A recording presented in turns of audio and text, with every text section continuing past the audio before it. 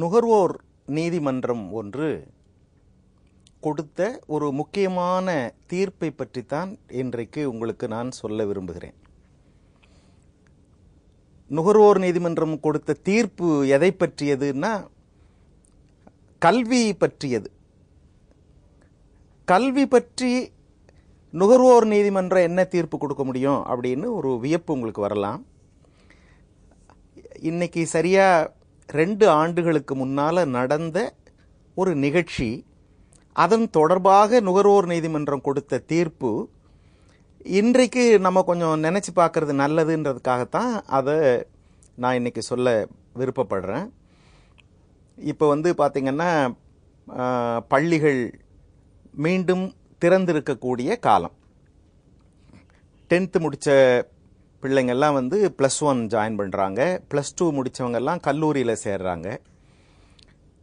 இந்த சூழ்நிலையில் இந்த தீர்ப்பு கொஞ்சம் பொருத்தமானதாக இருக்கும். ஒரு எச்சரிக்கையாக இருக்கும்னு வச்சுக்கோங்களேன். பொருத்தம்ன்றதை விட ஏன்னா அந்த தீர்ப்பை பற்றி சொல்லும்போது கொஞ்சம் என்னடா இந்த நேரத்தில் இப்படி ஒரு விஷயத்த சொல்கிறாரேன்னு கூட நினப்பு வரலாம். ஒரு எச்சரிக்கையாக இருக்கட்டும் அப்படின்றதுக்காக. ஏன்னா அந்த தீர்ப்பில் நீதிமன்றம் என்ன சொல்லுச்சுன்னா பெற்றோர்களாகட்டும் கல்வி நிறுவனங்களாகட்டும் எப்படியாவது மாணவர்களை நிறைய மதிப்பெண் பெற வைக்க வேண்டும் என்பதற்காக அவர்கள் அந்த ஸ்டூடெண்ட்ஸ்க்கு மாணவர்களுக்குன்னு ஒரு லிமிட் இருக்கும்ல. பல சூழ்நிலைகள் பல காரணங்கள் இருக்கலாம் அதுக்கு. அந்த அவர்களால் என்ன முடியுமோ அதை விட அதிகமான அழுத்தத்தை மாணவர்களுக்கு கல்வி நிறுவனங்களும் சரி பெற்றோர்களும் சரி தருகிறார்கள். இது வந்து அந்த லிமிட் என்னன்றதை வந்து பெற்றோர்களும் தெரிந்து கொள்ளணும் கல்வி நிறுவனங்களும் தெரிந்து கொள்ளணும். அதுக்கு இந்த வழக்கு ஒரு உதாரணமாக இருக்கும் அப்படின்னு கொடுத்த தீர்ப்பு அது. நீங்கள் இன்றைக்கி கல்விச் சூழலை பார்க்கலாம். ஒரு காலத்தில் ஒரு காலத்துனா ஒரு முப்பது நாற்பது ஆண்டுகளுக்கு முன்னாலன்னு கூட பார்த்தீங்கன்னா விடுதலை அடைஞ்ச பின்னால் நம்ம நாடு. கல்விக்கூடத்துக்கு மாணவர்கள் நிறைய போகலையேன்ற கவலை இருந்தது. அந்த மதிய உணவெல்லாம் பெருந்தலைவர் காமராஜர் கொண்டு வந்ததற்கு காரணம் எப்படியாவது பிள்ளைகளை படிக்க வைக்கணும். பள்ளிக்கூடத்துக்கு அனுப்பணும் அப்படின்றதுக்காக. ஒரு முறை மேடையில் கூட பெருந்தலைவர் காமராஜர் குறிப்பிட்டார் ஒரு பையன் ஸ்கூலுக்கு போய் படிக்கலைன்னா அவங்க அப்பனை தூக்கி ஜெயிலில் போடுனார் என்னென்னா ஒழுங்காக பிள்ளைய படிக்க வைப்பான். ரெண்டாவது அவன் ஜெயிலில் இருக்க நாள் வரையில அடுத்த குழந்தை பெற்றுக்காமல் இருப்பான்னார். மாணவர்களை இளைஞர்களை படிக்க வைக்காமல் இருந்தோமேன்ற கவலை ஒரு காலம். இன்னைக்கு அது அப்படியே அபவுட் டேர்ன் ஆகி எப்படி ஆயிருக்குன்னீங்கன்னா படிக்கணுன்ற சூழ்நிலை எல்லாருக்குமே வந்தப்புறம் எப்படியாவது இருக்கிறதுலேயே அதிக மதிப்பெண்கள் பெறணும். மாணவர்கள் நினைக்கிறாங்களோ இல்லையோ பெற்றோர்கள் நினைக்கிறோம் கல்வி நிறுவனங்கள் நினைக்கின்றன. ஒரு ஒரு மாணவன் படிக்கிறான்னு வச்சுக்கோங்க இதில் வந்து மூன்று பேர் இன்வால்வ் ஆகிறாங்க ஒன்று அந்த படிக்கக்கூடிய மாணவன் அல்லது மாணவி அப்புறம் அந்த மாணவருடைய பெற்றோர் கல்வி நிறுவனம். மூணு பேருக்குமே வந்து கோணம் வேறு வேறாக இருக்கிறது. படிக்கக்கூடிய மாணவனோ மாணவியோ என்ன நினைக்கிறாங்க? ஒரு சப்ஜெக்ட் ரொம்ப ஹெவியாக இருக்குது எங்களுக்கு விடுதலையே இல்லை. விடுதலைன்னா சுதந்திரமாக இருக்க முடியல. அந்த அளவுக்கு ப்ரெஷர் இது மாணவர்கள். பெற்றோர்கள் என்ன நினைக்கிறாங்க? எதிர்கால கனவு பிள்ளை நல்லா வரணுன்ற கனவு நம்ம எதிர்காலத்தில் பிள்ளை காப்பாற்றணுன்ற கனவு அப்புறம் வேற யாரையும் விட இவங்க பிள்ளை தான் நல்ல மார்க் வாங்கினா அப்படின்ற பேர் வரணுன்ற நினைப்பு இது பெற்றோர்களுக்கு. கல்வி நிறுவனங்களுக்கு கிட்டத்தட்ட வணிக நோக்கு. இல்லைனா அது இல்லைன்னா ஏன் அட்வர்டைஸ் பண்ண போகிறாங்க எங்கள் காலேஜ் இல்லை எங்கள் ஸ்கூலில் பாருங்கள் இவ்வளோ மதிப்பெண் பெற்றிருக்கிறார்கள்.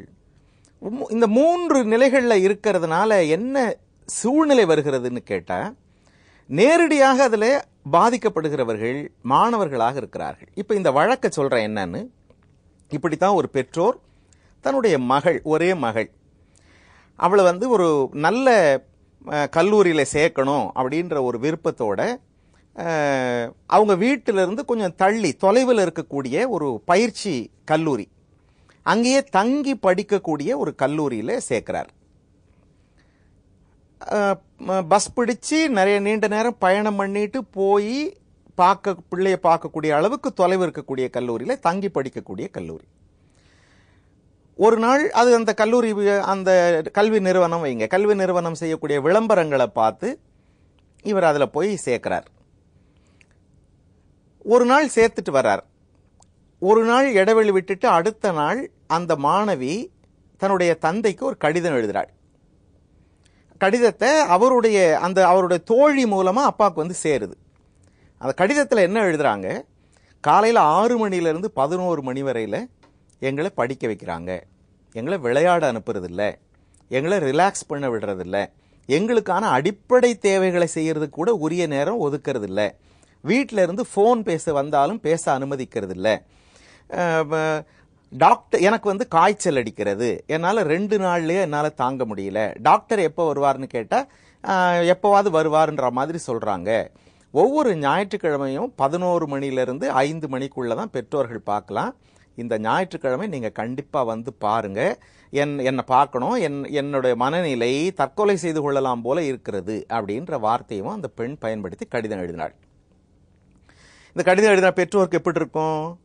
நிறைய நான் ஆசைகளோடு தான் சேர்த்தா கூட ஒரு தன்னுடைய ஒரே மகள்கிட்ட இருந்து இப்படி கடிதம் வந்த என்ன பண்ணுறது அவர் அலறி துடித்து உடனே ஃபோன் பண்ணுறார் ஃபோன் பண்ணுறார் ஃபோன் பண்ணுறார் அவங்க வந்து இல்லை இந்த நேரத்தில் நீங்கள் பேசக்கூடாது. பெண்ணோட பேச முடியாது. இந்த நேரத்துக்கு மேலே தான் பேசணும். சரி அந்த நேரத்துக்கு அப்புறம் பேசினா கூட பெண் பேச மாட்டா. என்னன்றதை எங்களுக்கு சொல்லுங்கள் நாங்கள் உங்கள் பெண்ணுக்கு சொல்லுவோம். பெற்றோர்கள்கிட்ட நாங்கள் எங்கள் கட்டுப்பாடு அப்படின்னு சொல்லிடுறாங்க. அப்புறம் ஒரு நாள் அவர் நேர்லேயே பெண்ணை போய் பார்க்குறார். ஒரு மூணு நாலு நாளைக்குள்ளே. அதுக்குள்ளே பெண் மெழிஞ்சிருக்கிறா உடல்நிலை சரியில்லாமல் இருக்கிறதுனா பெண் பார்த்த உடனே சொல்கிறா அப்பா என்னை கூட்டிகிட்டு போயிடுங்க. என்னால் இங்கே இருக்க முடியாது நான் இங்கே படிக்க விரும்பல. அவர் சரி வாமா போகலான்னு கிளம்புற சமயத்தில் நிறுவனம் என்ன சொல்லுதான்? கல் இதெல்லாம் அந்த வழக்கில் பெற்றோர் சொன்ன தகவல்கள். கல்வி நிறுவனம் நிறுவனம் இதை மறுத்தது என்பது ஒரு பக்கம். கல்வி நிறுவனத்தை சார்ந்தவங்க என்ன சொன்னதா பெற்றோர் சொல்கிறார் படிக்கிற பிள்ளை அப்படிதாங்க சொல்லுவாங்க. நீங்கள் பெரியவங்க தைரியம் சொல்லி ரெண்டு நாள் அப்படி இருக்கோமா? சரியாயிரும் விட்டுட்டு போவீங்களா? நீங்கள் கூட்டிகிட்டு போனால் என்ன பொருள்? அப்படின்னு நிறுவனம் சொன்னதை வச்சு இவரும் மனம் இல்லாமல் இல்லைம்மா இருமா எல்லாம் சரியாயிரும் அப்படின்னு ஒரு தைரியம் கொடுத்துட்டு இவர் திரும்புகிறார் அதுக்கப்புறம் வந்து ஒரு ரெண்டு நாள் மூணு நாள் மறுபடியும் தொலைபேசியில் முயற்சி பண்ணுறார் பேச முடியல. இன்னொரு ஒரு ரெண்டு நாள் மூணு நாள் போகுது ஏதோ ஒரு உணர்வு பெண்ணை எப்படியும் போய் நம்ம போய் பார்த்துடலாம் பார்த்துட்டா தான் சரியாக இருக்கும்ன்ட்டு ஒரு நாள் பிற்பகல் ரெண்டு முப்பது மணிக்கு இவர் அந்த கல்வி நிறுவனத்துக்குள்ளே போனதாக சொல்கிறார் அங்கே இருக்கிறவங்க அஞ்சு மணிக்கு முன்னால் பிள்ளைங்களை பார்க்க முடியாதுன்னு சொல்லிடுறாங்க. இவர் அங்கேயே வெளியே காத்துட்ருக்கிறார்.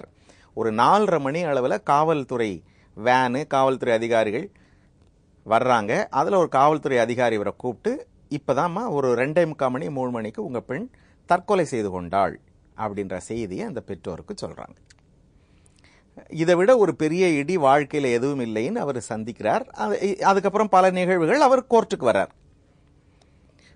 நீதிமன்றத்தில் நுகர்வோர் நீதிமன்றத்தில் அந்த கொடுத்த தலைப்பு வேறு அவர் வந்து deficiency in service unfair trade ப்ராக்டிஸ்னு நுகர்வோர் நீதிமன்றத்துக்கு வரக்கூடிய அந்த தலைப்புகள் கீழே இந்த வழக்கு கொண்டு வந்து வழக்கை தாக்கல் பண்ணுறார் கல்வி நிறுவனம் இதை முழுமையாக மறுக்கிறது. இது உண்மை கிடையாது அப்படின்னு.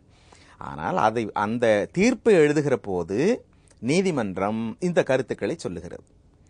ஒரு மாணவனையோ மாணவியையோ நமக்கு இருக்கக்கூடிய ஒரு கற்பனையில இவ்வளவு மதிப்பெண் வாங்கணும்ட்டு நீங்க பண்ணும்போது அவங்க எந்த அளவுக்கு அவங்க தாங்குவாங்கன்னு பார்க்க வேணாமா?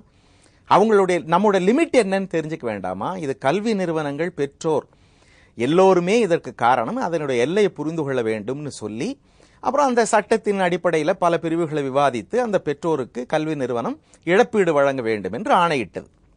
இந்த வழக்க சொல்றது காரணம் என்னன்னா நம்முடைய பிள்ளைங்க நல்ல மதிப்பெண்கள் பெறணுன்றதுல வந்து எந்த ஐயம் இல்லை. எல்லா பெற்றோர்களுக்கும் அந்த நினப்பு இருக்கும்.